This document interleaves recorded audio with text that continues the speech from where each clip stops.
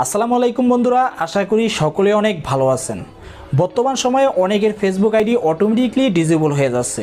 এই Facebook account disable নিয়ে অনেক কমপ্লেন আজকের এই ভিডিওতে দেখিয়ে দিব কীভাবে আপনার ফেসবুক অ্যাকাউন্টটিকে টোটালি কনফার্ম করে রাখতে পারেন, যাতে করে ফেসবুক কোনোদিনও আপনার অ্যাকাউন্টটিকে ডিজেবল করতে না পারে। এরকম নিত্য নতুন ভিডিও পাওয়ার জন্য অবশ্যই আমাদের চ্যানেলটি সাবস্ক্রাইব করে পাশে থাকা নোটিফিকেশন বেল আইকনটি অন করে রাখবেন। তো চলুন শুরু করা যাক আমাদের আজকের ভিডিও। প্রথমে আমরা ফেসবুক অ্যাপ্লিকেশনটি ওপেন করে নিব। তো আমাদেরকে একটি ব্যাপার মনে রাখতে হবে। আমরা যে এনআইডি কার্ডটি এখানে সাবমিট করব, তো সেই এনআইডি কার্ড অনুসারে আমাদের ফেসবুক অ্যাকাউন্টের নাম হতে হবে। তো আপনাদের এটি যদি অন্যভাবে নাম হয়ে থাকে, তাহলে আপনারা এনআইডি কার্ড অনুসারে ফেসবুক অ্যাকাউন্টের নামটি পরিবর্তন করে নেবেন। তো এরপর আমরা এখান থেকে যে থ্রি ডট লাইন অপশন রয়েছে, এই অপশনটিতে ক্লিক করে দেবো।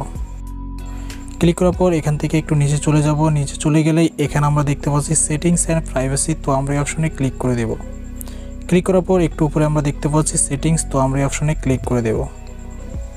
এরপর আমরা এখান থেকে পার্সোনাল ইনফরমেশন এই অপশনটিতে ক্লিক করে দেব। ক্লিক করে দেওয়ার পর পার্সোনাল ইনফরমেশন ফেসটি ওপেন হয়ে যাবে। এরপর আমরা এখান থেকে আইডেন্টি কনফার্মেশন এই অপশনটিতে ক্লিক করে দেব। এরপর আমরা এখান থেকে কনফার্ম ইউর আইডেন্টি এই অপশনটিতে ক্লিক করে দেব। ক্লিক করে দেওয়ার পর এখান থেকে উপরের অপশনটি সিলেক্ট করে দেব। সিলেক্ট করে দেওয়ার পর আমাদের সামনে আরও একটি ইন্টারফেস ওপেন হয়ে যাবে। তো এরপর আমরা এখান থেকে সিলেক্ট যে অপশনটি রয়েছে এই অপশনে ক্লিক করে দেব। ক্লিক করে দেওয়ার সাথে সাথে আমরা এখান থেকে অনেকগুলো কান্ট্রি পেয়ে যাব। তো আমরা এখান থেকে বাংলাদেশ যে অপশনটি রয়েছে এই অপশনটি সিলেক্ট করে দেব।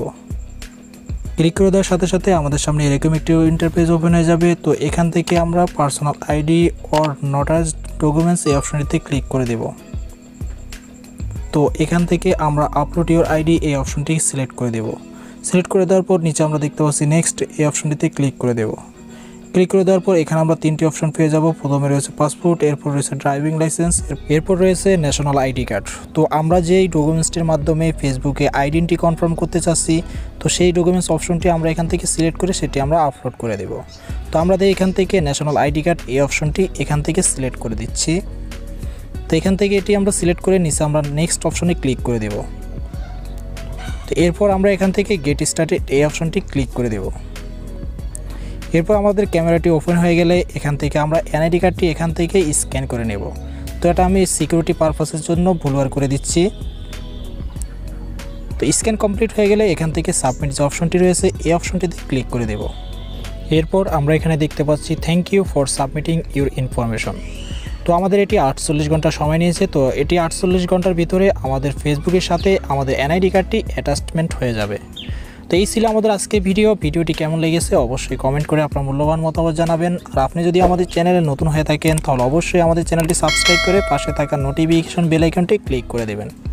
ধন্যবাদ, ভালো থাকবেন, সুস্থ থাকবেন, আল্লাহ হাফেজ।